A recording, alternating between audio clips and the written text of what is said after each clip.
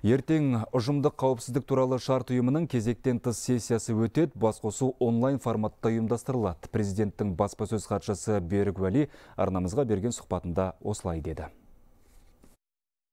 жалпы жағдай тұрақталған соң миссияның жұмысы одкб-ның әскерінің миссиясы аяқталады олар бірден қалмайды ешқайсысы бірден өз елдеріне кетеді ол деген одкб деген ол жалғыз россия емес өздеріңіз білесіздер.